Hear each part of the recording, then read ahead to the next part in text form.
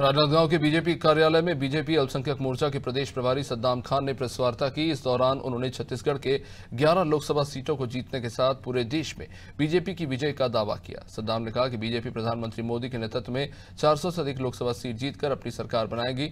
हमने लोकसभा चुनाव को लेकर मंडल और बूथों को और मज़बूत करने की तैयारी शुरू कर दी है।